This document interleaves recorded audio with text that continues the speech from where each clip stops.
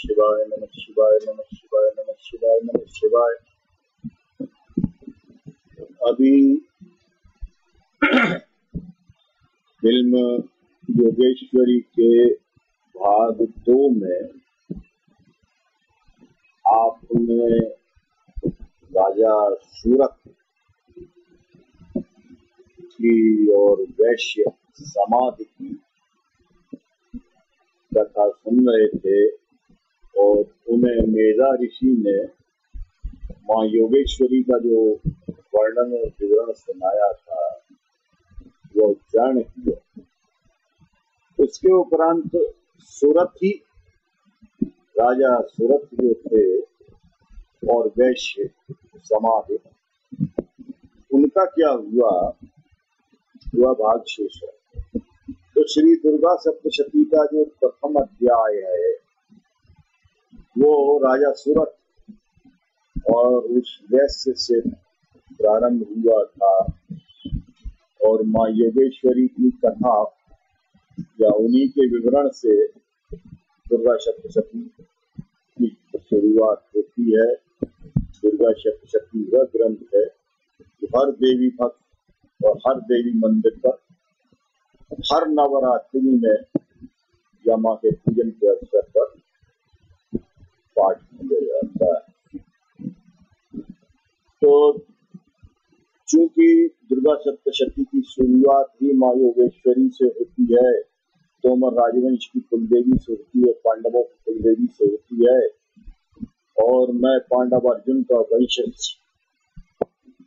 और महाभारत सम्राट दिल्ली तक महाराजा सिंह तोमर की तेईसवीं पीढ़ी, नरेंद्र सिंह तोमर आनंद। अपने स्वर में ये उच्चारण प्रस्तुत कर रहा हूँ। तो अभी आप पिछले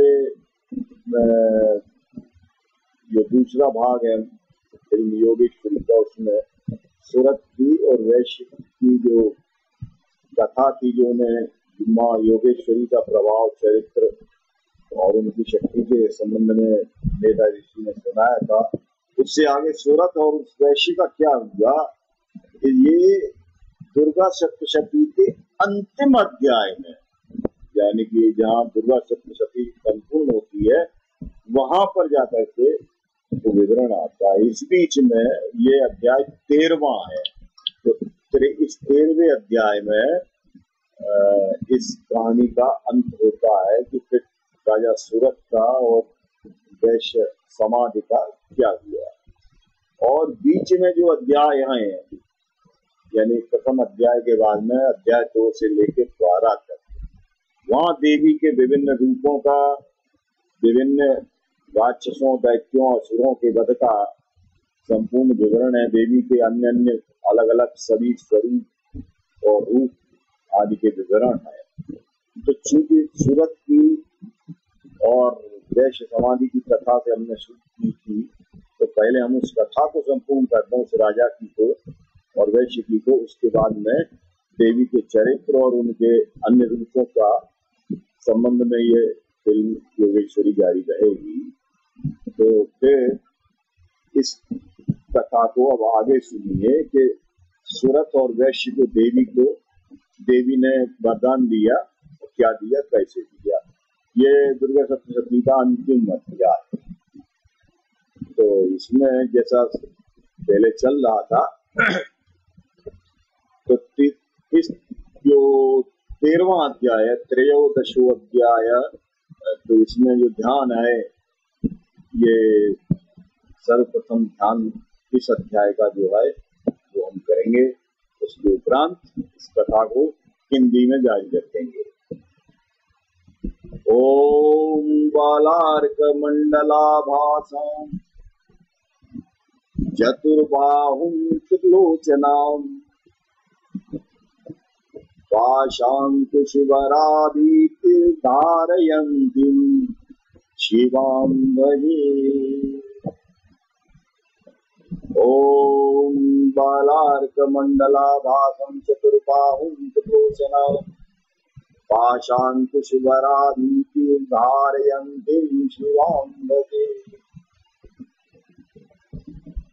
जो उदय काल के सूर्य मंडल की सी कांति धारण करने वाली है, जिनके चार भुजाएँ और तीन नेत्र है, तथा जो अपने हाथों में पाश, अंकुश वर एवं अभय की मुद्रा धारण किए रहती है उन शिवा देवी का मैं ध्यान करता हूँ। ये ध्यान मंत्र हुआ आवाज़ करता हाँ तो ऋषि कहते हैं, राजन, इस प्रकार मैंने तुमसे देवी के उत्तम महात्म्य का वर्णन किया, जो इस जगत को धारण करती है। उन देवी का ऐसा ही प्रभाव है। वे ही विद्या को उत्पन्न कराती हैं। भगवान विष्णु की माया स्वरूपा महामाया योग माया योगेश्वरी, उन भगवती के द्वारा ही तुम और ये वैश्य तथा अन्य अन्य विश्व के अत्यंत विवेकी जन तक मोहित होते हैं। मोहित हुए हैं तथा आगे भी मोहित होते रहेंगे। हे महाराज, तुम उन्हीं परमेश्वरी की शरण में जाओ। आराधना करने पर वे ही मनुष्यों को भोग, स्वर्ग तथा मोक्ष प्रदान करती हैं। मारकंडे जी कहते हैं क्रौष्टुक जी, मेधा मुनि के ये वचन सुनकर राजा सूरत ने उत्तम व्रत का पालन करने वाले उन महाभाग महर्षि को प्रणाम किया। वे अत्यंत ममता और राज्यापरण से बहुत खिन्न हो चुके थे। महामुनि इसलिए विरक्त होकर वे राजा तथा वैश्य तत्काल तपस्या को चले गए और वे जगदम्बा के दर्शन के लिए नदी के तट पर रहकर तपस्या करने लगे। वे वैश्य उत्तम देवी सूक्त का जप करते हुए तपस्या में प्रवृत्त हुए। वे दोनों नदी के तट पर देवी की मिट्टी की मूर्ति बनाकर पुष्प, धूप और हवन आदि के द्वारा उनकी आराधना करने लगे। उन्होंने पहले तो आहार को धीरे धीरे कम किया, फिर बिल्कुल निराहार रहकर देवी में ही मन लगाए, एकाग्रता पूर्वक उनका चिंतन आरंभ किया।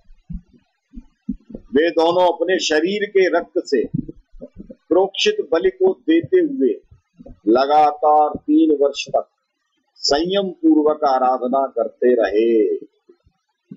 इस पर प्रसन्न होकर जगत को धारण करने वाली चंडिका देवी ने प्रत्यक्ष दर्शन लेकर कहा, देवी बोली, हे राजन, तथा अपने कुल को आनंदित करने वाले वैश्य तुम लोग जिस वस्तु की अभिलाषा रखते हो, वह मुझसे मांगो। मैं संतुष्ट हूँ।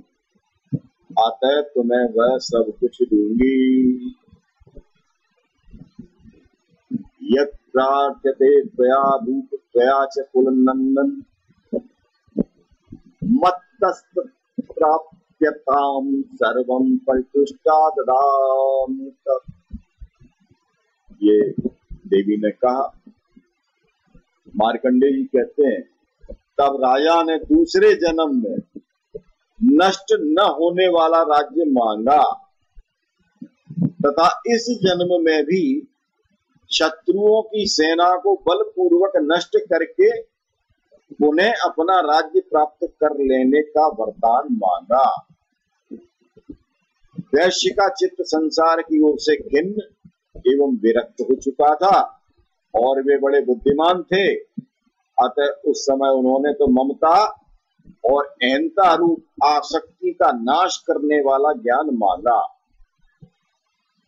तब देवी बोली, राजन, तुम थोड़े ही दिनों में शत्रुओं को मारकर अपना राज्य प्राप्त कर लोगे। अब वहाँ तुम्हारा राज्य स्थिर रहेगा। फिर मृत्यु के पश्चात तुम भगवान विवस्वान, यानी सूर्य,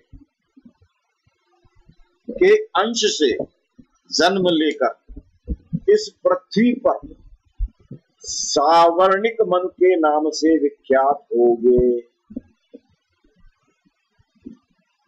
ये वरदान तो राजा सूरत को देवी ने दिया और वैश्य के लिए कहा वैश्वर्य तुमने भी जिस वर को मुझसे प्राप्त करने की इच्छा की है, मैं से देती हूँ। तुम्हें मोक्ष के लिए ज्ञान प्राप्त होगा। मार्कंडे जी कहते हैं, इस प्रकार उन दोनों को मनोवांछित वरदान देकर तथा उनके द्वारा भक्ति पूर्वक अपनी स्तुति सुनकर देवी अंबिका तत्काल अंतर ध्यान हो गई।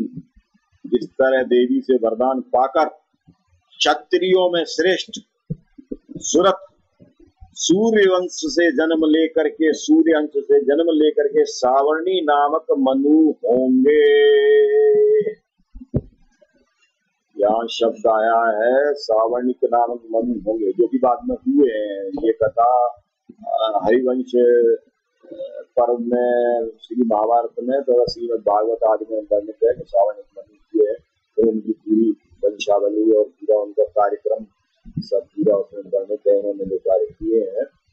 लेकिन यहाँ जो दुर्गा सप्तमी में लिखा है, वो उच्चारण यह है होंगे लिखी हुई, ये उससे पूर्व राजा सूरत को कही गई बात। तब सावर्णिक मनु नहीं ये राजा सूरत थे। सावर्णिक मनु का जन्म और उत्पत्ति बाद में। तो ये जो है, देवी माता दुर्गा शक्ति का अध्याय तेरा। पूर्ण हुआ? राजा सूरत की और वैश्य की कथा पहले यहाँ पूर्ण की। अब आगे देवी के चरित्र और अंत स्वरूप और माँ योगेश्वरी योग माया योग माता चिल्लासन देवी चिलाय माता, इन सब स्वरूपों के, इनके चरित्रों के, इनके काम के, कृत्यों के, और इनके असुर संहार के, और इनकी शक्ति, इसको शक्ति क्यों कहते हैं? क्यों है ये शक्ति? नारी को शक्ति क्यों कहा जाता है? देवी को शक्ति क्यों कहा गया? ये आदि शक्ति क्यों है? जगत जननी क्यों है? जगदम्बा क्यों है? सारे जगत की माँ, जगदम्बा। ये सब विवरण इस फ़िल्म में आगे चलेगा। आप इसे देखते रहिए, इसमें हम आगे आपको बताएँगे। तो हुआ, ओम नमः शिवाय नमः शिवाय नमः शिवाय नमः शिवाय नमः शिवाय नमः शिवाय। जय श्री कृष्ण, जय जय श्री राधे। जय मामृता जय योग माया जय महामाया, जय श्री योगेश्वरी देवी। जय मामा काली भवानी। ओम नमः शिवाय नमः शिवाय नमः शिवाय ओम नमः शिवाय ओम नमः शिवाय। ओम नमः शिवाय नमः शिवाय नमः शिवाय नमः शिवाय। श्री राधे अब आज हम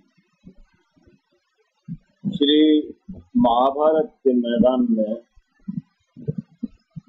महायोद्धा परम पराक्रमी भारत अर्जुन द्वारा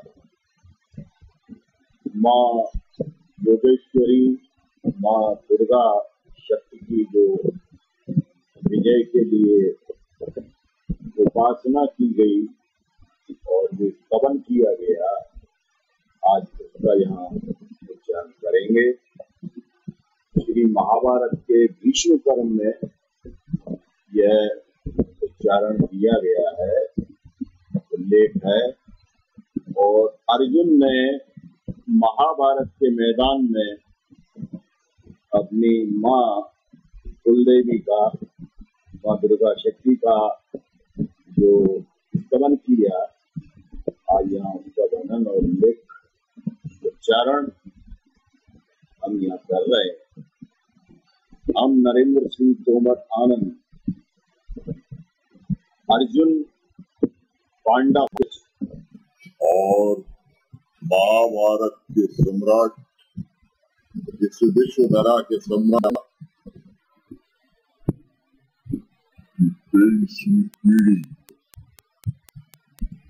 ये स्वर और उच्चारण ये वह स्वर है जो महाभारत के मैदान में गूंजा अर्जुन का स्वर है और जो अर्जुन ने वहाँ उपासना की, साधना की माते पुकारा आज उसी अर्जुन के वंशज के स्वर में, उसी अर्जुन के स्वर में जो महाभारत के मैदान में पूजा यह इस कदम हम महाभारत की भीष्म पर्व से हिंदी में यहाँ उच्चारण कर रहे हैं और संस्कृत में हम पीछे अपनी फ़िल्म में महाराजा जन्मे जय सिंह तोमर का जो उच्चारण है, उसको फ़िल्म योगेश्वरी के भाग दो देखा सुना चुके हैं। भाग तीन में, क्षमा करें, भाग तीन में हम उसको दिखा चुके या दिखा रहे हैं, आगे इससे आगे दिखाएँगे। और ये चूँकि स्तवन फ़िल्म भारत में भी जा रहा है और फ़िल्म योगेश्वरी के भाग तीन में भी जा रहा है। अतः इसे आप फ़िल्म के भारत फ़िल्म जो है, उसमें भी सुन सकेंगे। और योगेश्वरी का जो भाग तीन है, उसमें भी आपको ये सुनाई देगा। तो जय श्री कृष्ण, जय जय श्री नमस्कार नमस्कार महाभारत के समय कुरुक्षेत्र में जब भगवान श्री कृष्ण चंद्र जी ने कौरव सेना को युद्ध के लिए उपस्थित देखा तो उन्होंने अर्जुन से उनके हित के लिए कहा, हे महाबाहु भारत, अर्जुन, तुम शत्रुओं को पराजित करने के निमित्त रणाभिमुख खड़े होकर पवित्र भाव से शक्ति दुर्गा का स्तवन करो। उनका ध्यान करो, उनको पुकारो। संग्राम में बुद्धिमान वसुदेव नंदन के ऐसा कहने पर अर्जुन रथ से उतर पड़े और हाथ जोड़कर शक्ति दुर्गा का ध्यान करते हुए इस प्रकार स्तवन करने लगे। तो अर्जुन द्वारा जो स्तवन किया गया है, अब मैं प्रस्तुत कर रहा हूँ, या हिंदी में प्रस्तुत कर रहा हूँ, जिससे आप सभी को वो समझ में आ चुके और ये फ़िल्म भारत और योगेश्वरी भाग तीन दोनों ही फ़िल्मों में जा रहा है। भारत के, भारत फ़िल्म में भी जाएगा तो जो उपासना की या स्तवन किया गया है अर्जुन द्वारा तो जन्मे जय सिंह तोमर का स्तवन आगे है और ये अर्जुन का है। तो अब आप सुनिए कि उन्होंने क्या किया। हे सिद्ध समुदाय की नेत्री आर्य, तुम मंदराचल के विपिन में निवास करती हो। तुम्हारा कौमार, ब्रह्मचर्य व्रत अक्षुण्ड है। तुम काल शक्ति एवं कपाल धारिणी हो। तुम्हारा वर्ण कपिल और कृष्ण पिंगल है। तुम्हें मेरा नमस्कार। भद्रकाली तथा महाकाली रूप में तुम्हें नमस्कार। अत्यंत कुपित चंडिका रूप में तुम्हें प्रणाम। हे गणचंडी हे माँ महा चामुंडा, हे सुंदरी तुम्ही संकटों से पार करने वाली हो तुम्हें सादर नमस्कार। तुम्हें सादर नमस्कार। तुम मोर पंख की ध्वजा धारण करती हो और नाना भात के आभूषणों से भूषित रहती हो। हे महाभागे, तुम्ही कात्यायनी, कराली, विजया तथा जया हो। अत्यंत उत्कट शूल तुम्हारा शस्त्र है। तुम खंग, तथा चर्म धारण करती हो। हे ज्येष्ठे, तुम गोपेंद्र श्री कृष्ण जी की छोटी बहन योग माया और नंद गोप की कुल की कन्या हो। हे पीताम्बर धारिणी कौशिकी, तुम महिषासुर का रक्त सदा ही तुम्हें प्यारा है। तुम्हारा हास उग्र और मुख गोल चक्र के समान है। हे रण प्रिय तुम्हें नमस्कार है, नमस्कार। उमा, शाकंभरी, महेश्वरी, कृष्णा, कैटवनाशिनी, हिरण्याक्षी विरूपाक्षी और धूम्राक्षी आदि रूपों में तुम्हें मेरा प्रणाम।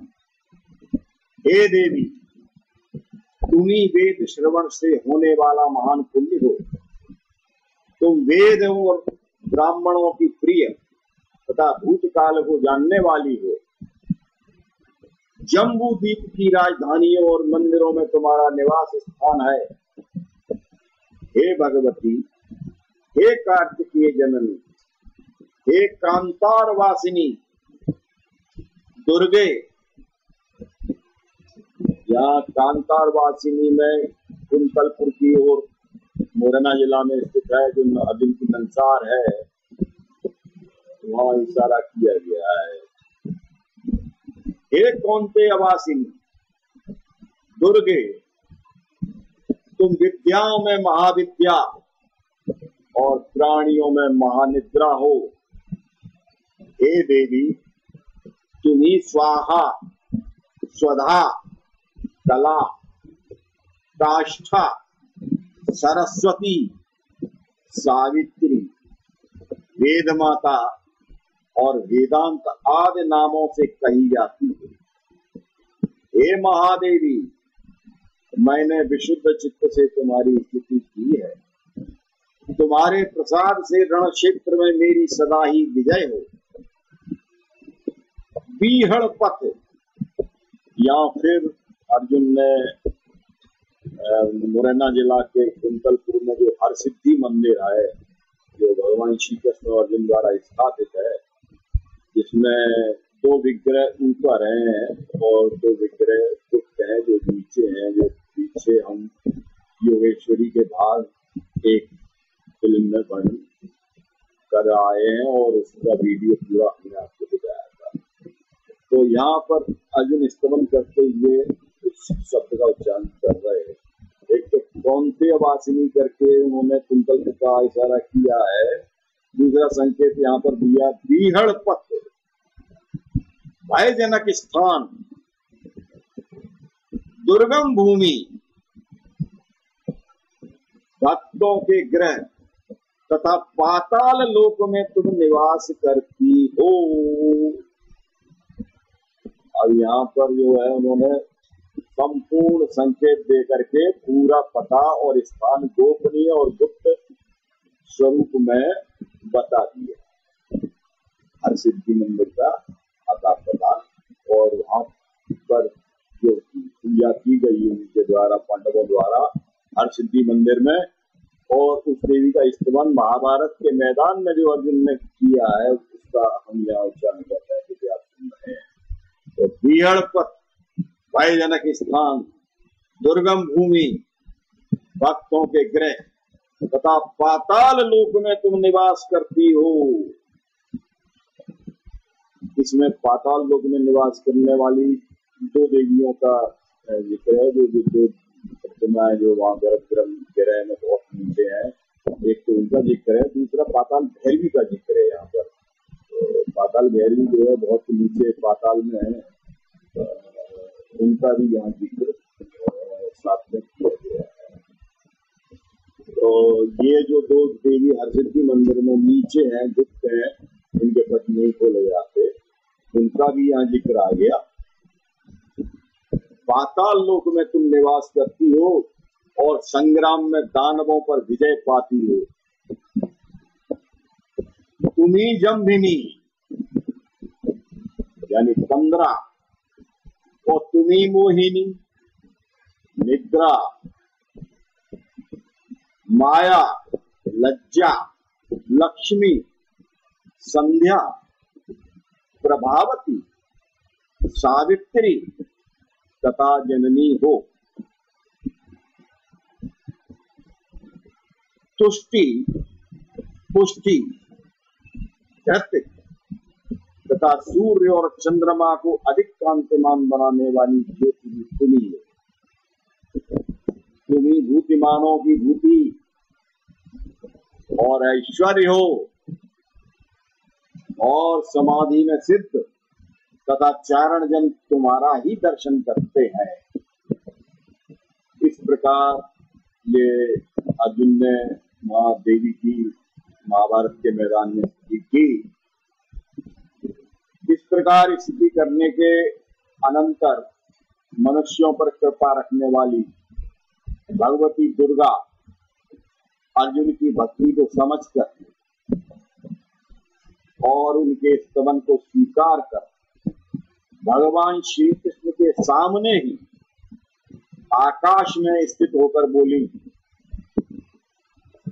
हे पांडु नंदन भारत, तुम स्वयं नर हो और दुर्ध हर्ष नारायण तुम्हारे सहायक और यहाँ नर और नारायण दोनों का मेल था इसमें महाभारत के मैदान ये माँ देवी ने उच्चारण किया है, ये उनका जो आकाश में स्थित होकर जो उन्होंने कहा है कहा हे पांडुनंदन भारत, तुम स्वयं न रहो और दुर्धर्ष नारायण तुम्हारे सहायक अतः तुम थोड़े ही समय में, अतः तुम थोड़े ही समय में शत्रुओं पर विजय प्राप्त कर लोगे। रण में शत्रुओं की कौन कहे? साक्षात इंद्र पे भी तुम अजय हो। यहाँ पर देवी ने स्पष्ट किया है कि रणुओं में वो रण में शत्रुओं की कौन कहे? साक्षात इंद्र के लिए भी तुम अजय हो। ऐसा कहकर वर वरदायिनी देवी भीषण अंतर्निहित हो गई, यानी अदृश्य हो गई। तो यहाँ पर देवी ने जो स्पष्ट किया है, वो बड़ा साफ़ शब्दों में कह दिया है कि तुम थोड़े ही समय में शत्रुओं पर विजय प्राप्त कर लो। यानी विजय प्राप्त करना तुम्हारे लिए बहुत आसान है। और रण में शत्रुओं की कौन कहे? साक्षात इंद्र के लिए भी तुम अजय हो इंद्र भी सामने आ जाएगा तो वो भी परास्त हो जाएगा, वो हार कर जाएगा। तो ये अर्जुन का स्तवन था, जो महाभारत के भीष्म पर्व में वर्णित है, उच्चारण किया है। और महाभारत के भीष्म पर्व में ही गीता का वर्णन है, श्रीमद भगवत गीता का उच्चारण है और यहाँ पर भी तो ये हमारी जो कुलदेवी है, योगेश्वरी और जो योग माता, माँ दुर्गा, शक्ति, ये उनका स्तवन था जो अर्जुन ने महाभारत के मैदान में भगवान श्री कृष्ण के आदेश पर किया था और देवी वहाँ प्रकट हुई और उन्होंने आकाश में होकर के जो कहा, वो उच्चारण हमने आपको सुनाया।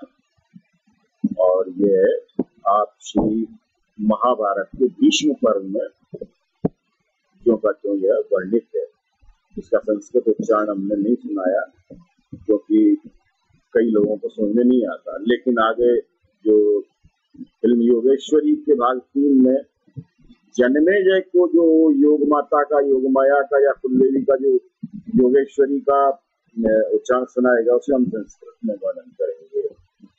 तो जो आगे है। जय श्री कृष्ण, जय जय श्री राधे। तो मैं महाभारत योद्धा पराक्रमी, महापराक्रमी अर्जुन का वंशज और महाभारत सम्राट दिल्ली पथ महाराजा अनंगा पाल सिंह तोमर की तेईसवीं पीढ़ी।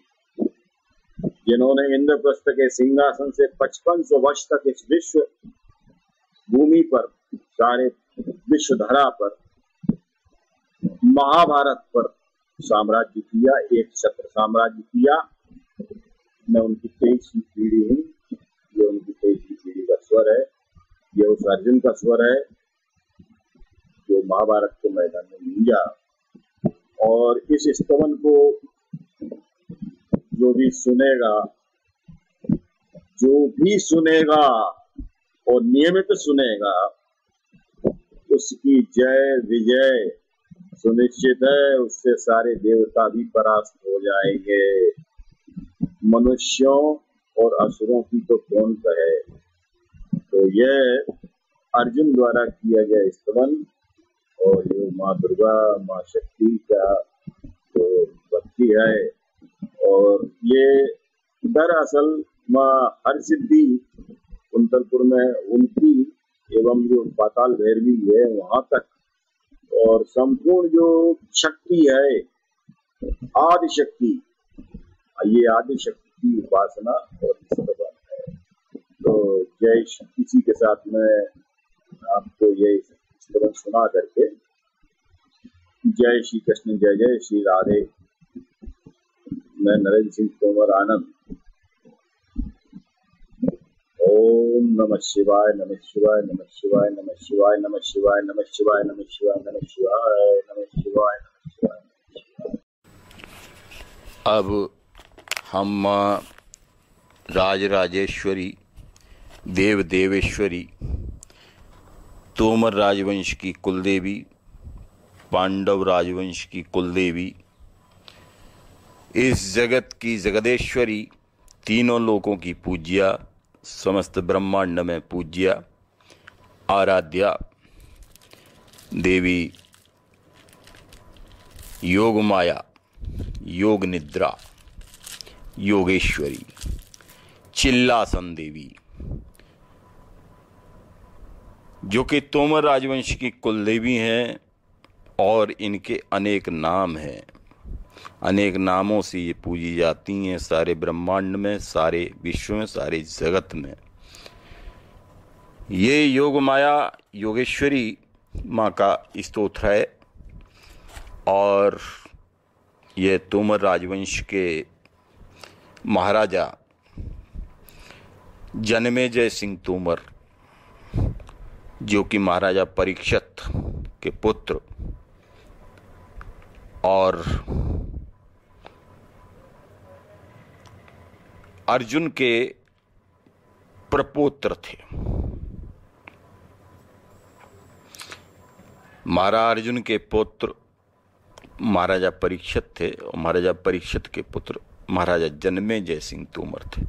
महाराजा जन्मे जय सिंह तोमर को, इस स्तोत्र को श्री वैशम पाइन जी ने श्री महाभारत में, हरिवंश पर्व में जैसा सुनाया, उच्चारण किया है। वह उच्चारण मैं यहाँ कर रहा हूँ। तो माता योगेश्वरी योग, माता योग निद्रा चिल्लासन देवी की जो पूजा की जाती है, जिस स्तोत्र से, मैं नरेंद्र सिंह तोमर आनंद, उस स्तोत्र का यहाँ उच्चारण कर रहा हूँ। जय श्री कृष्ण, जय जय श्री राधे। ओम नमः शिवाय नमः शिवाय नमः शिवाय नमः शिवाय नमः शिवाय। ओम नमः शिवाय नमः शिवाय नमः शिवाय नमः शिवाय नमः शिवाय। आर्यास्तवम प्रवक्ष्यामि यथोक्तमृषिभिः पूर्वा। नारायणीं नमस्यामि, देवीं त्रिभुवनेश्वरीं। हि सिद्धिर्धृतकीर्ति श्रीर्विद्या सन्नतिर्मतिः सन्ध्यारात्रिप्रभा निद्रा कालरात्रिस्थितैव च। आर्या कात्यायनी देवी कौशिकी ब्रह्मचारिणी। जननी सिद्धसेनस्य उग्रचारी महाबला। जया च विजया चैव पुष्टिस्तुष्ट क्षमा दया। ज्येष्ठा यमस्य भगिनी नीलकौशेयवासिनी। बहुरूपा विरूपा च अनेकविधिचारिणी विरूपाक्षी विशालाक्षी भक्तानां परिरक्षिणी। पर्वताग्रेषु घोरेषु नदीषु च गुहासु च। वासस्ते च महादेवी वनेषु पूवनेषु च। शर शबरैर्बर्बरवश्चैव पुलिन्दश्चैव सुपूजिता। मयूरपिच्छ ध्वजिनी लोकान् क्रमसि सर्वशः कुक्कुटुश्चागलैर्मेषे सिंहैर्व्याघ्रे समाकुला घंटा निनाद बहुला विंध्यवासिन्या मिश्रुता त्रिशूल पट्टिस्थरा सूर्य चंद्र पताकिनी नवमी कृष्ण पक्ष से शुक्ल एकादशी तथा। भगिनी बलदेव से रजनी कलह प्रिया आवास सर्वभूता निष्ठा च परमागति।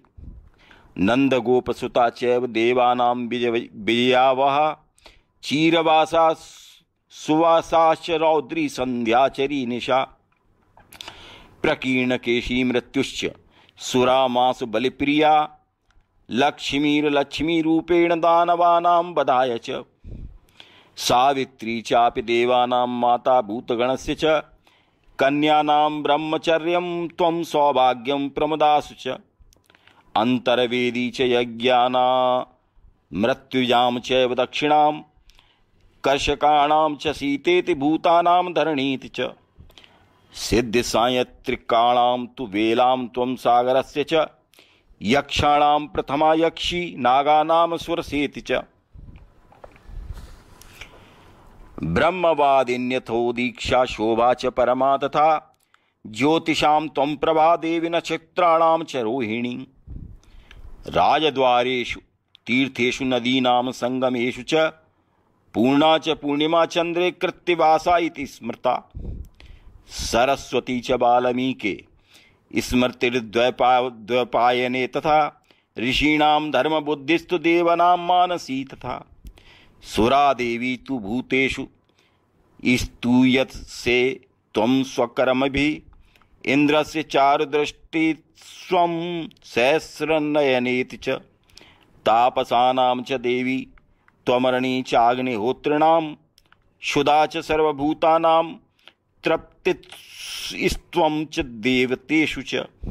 स्वाहा तृप्तिर्धृतिर्मेधा वसूनां त्वं वसुमती, आशा त्वं मानुषाणां च पुष्टिश्च कृतकर्मणां। दिशश्च विरिश्चैव तथा वैग्नशिखा प्रभा, शकुनी पूतना, त्वं च रेवती च सुदारुणा। निद्रापि सर्वभूतानां मोहनी, क्षत्रिया तथा विद्यानां ब्रह्मविद्या, त्वमोङ्कारो अथ वषट् तथा।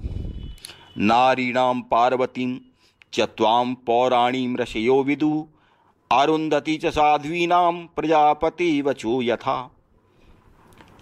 पर्याय नामाभिर्दिव्यैरिन्द्राणी चेत् विश्रुता त्वया व्याप्तमिदं सर्वं जगत् स्थावरजङ्गमम् सङ्ग्रामेषु च सर्वेषु अग्निप्रज्वलितेषु च नदीतीरेषु, चौरेषु, कान्तारेषु, भयेषु च प्रवासे राजबन्ध च शत्रूणां च प्रमर्दने प्राणात्ययेषु च सर्वेषु त्वं हि रक्षा न संशयः। सङ्ग्रामेषु च सर्वेषु अग्निप्रज्वलितेषु च, नदीतीरेषु चौरेषु कान्तारेषु भयेषु च, प्रवासे राजबंधे च शत्रूणां च प्रमर्दने, प्राणात्येषु सर्वेषु त्वं हि रक्षा न संशयः। त्वय मे हृदयं देवि, त्वये चित्तं मनत् स्त्वय रक्ष माँ सर्वपापेभ्य प्रसादं कर्तुमर्हसि। इमं यः स्वस्त्वं दिव्यमिति व्यास प्रकल्पितं यः पठेत प्रातरुत्थाय शुचि। प्रयत मानस त्रिविर्मासे कांक्षित फलम च वै संप्रयच्छसि षड्भिर्मासेर्वरिष्ठं तु वरमेकं प्रयच्छसि। इमं यः स्वस्त्वं दिव्यमिति व्यास प्रकल्पितं यः पठेत प्रातरुत्थाय शुचि प्रयतमानसः। त्रिभिर्मासै आकांक्षितं च फलं वै संप्रयच्छसि और षडभिर्मास सर्वैरिष्ट अरिष्टम तु वरमेकम प्रयच्छसि। जो मनुष्य इस स्तोत्र को व्यास जी के द्वारा पद में आबद्ध किए हुए इस सुंदर दिव्य स्तोत्र का प्रातः काल उठकर शुद्ध भाव से संयत चित्त होकर पाठ करता है। उसे तुम तीन ही महीनों में मनोवांछित फल प्रदान कर देती हो, तथा जो छह महीनों तक लगातार पाठ करता रहे, उसे कोई एक विशिष्ट वर दे देती हो। आगे जारी रखते हैं इस स्तोत्र को। अर्चिता तो त्रिभि दिव्यम चक्षु प्रयच्छसि। संवत्सरेण सिद्धिम तु यथा कामम प्रयच्छसि। तीन महीनों तक पूजित होने पर तुम उपासक को दिव्य दृष्टि प्रदान करती हो और एक वर्ष तक आराधना करने पर उसे उसकी इच्छा के अनुसार सिद्धि देती हो। सत्यम ब्रह्म च दिव्यम च द्वैपायन वचो तथा यथा नृणाम बंधम वदम घोरम पुत्रनाशम धनक्षयम व्याध मृत्यु भयम च पूजिता शमयिष्यसि, भविष्यसि महाभागे वरदा काम रूपिणी सत्यम ब्रह्म च दिव्यम द्वैपायन वचो यथा। नृणाम बंधम वधम घोरम पुत्रनाशम धनक्षयम व्याध मृत्यु भयम चैव पूजिता शमस्यसि। भविष्यसि महाभागे वरदा का मिरूपिणी श्री कृष्ण द्वैपायन व्यास जी ने जैसा बताया, उसके अनुसार तुम्ही सत्य एवं दिव्य ब्रह्म हो। महाभागे तुम पूजित होने पर मनुष्यों के बंधन भयानक वध, पुत्र और धन के नाश तथा रोग और मृत्यु का भय दूर कर। दोगी और इच्छानुसार रूप धारण कर, उपासकों के लिए वरदायिनी होगी। मोहयित्वाच कंसमेका तुम भोच्यसे जगत। अहमप्यात्मानो वृत्तिम विधास्ये गोषु गोपवत। मोहयित्वा च तक मोहयित्वा च तम कंसमेका तुम भोच्यसे जगत। अहम प्यात्मनो वृत्तिम विधास्ये गोश गोपवत इतना ही नहीं, तुम उस कंस को मोह में डालकर अकेली ही संपूर्ण जगत का उपभोग करोगी। मैं भी ब्रज में गऊओं के बीच में रहकर गोप के समान ही अपना व्यवहार बनाऊँगा। हाँ आगे इस स्तोत्र को उच्चारण करते हैं।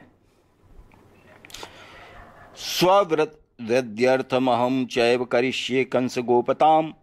एवं तांस समादिश्य गतो अन्तर्धानमीश्वरः। सा चापि तं नमस्कृत्य। तथा च निश्चिता। यश्चैतत्पठते स्तोत्रं शृणुयाद वाप्य वीक्षणसः। सर्वार्थ सिद्धि लभते नरो नास्त्यत्र संशय। सा चापि तम नमस्कृत्य तथा स्तुति च निश्चिता। उस समय उस देवी ने भी उन्हें नमस्कार करके बहुत अच्छा कहकर उनकी आज्ञा के पालन करने का निश्चित विचार कर लिया। यश्चैतत्पठते स्तोत्रम श्रृणियाद वाप्य भीक्षण सर्वार्थ सिद्धि लभते नरो ना इत्यत्र संशय। जो मनुष्य बारंबार इस स्तोत्र का पाठ अथवा श्रवण करता है, वह अपने संपूर्ण मनोरथों को सिद्धि प्राप्त कर लेता इसमें कोई संशय नहीं है। ये माँ योगेश्वरी योग माया हमारी तोमर राजवंश की कुलदेवी, चिल्लासन, चिल्लाए माता भी कहते हैं। विंध्यवासिनी, इसमें वैसे सभी नाम आज आए हैं इस स्तोत्र में, अगर आप इसको गौर से सुनेंगे तो देवी के। तीनों लोकों में पूज्य सारे ब्रह्मांड में पूज्य सारे ब्रह्मांड की तीनों लोकों की कुलदेवी हैं, इंद्र की और श्री कृष्ण की बहन है। जय माँ योगेश्वरी, जय माँ योग माया, जय योग निद्रा। जय जय श्री योगेश्वरी, जय चिल्लासन माता। ओम जय श्री कृष्ण, राधे राधे। नम शिवाय नम शिवाय नम शिवाय नम शिवाय नम शिवाय। मैं नरेंद्र सिंह तोमर आनंद, अपनी कुलदेवी माँ योगेश्वरी को दंडवत प्रणाम करते हुए इस स्तोत्र को पूर्ण करता हूँ। ओ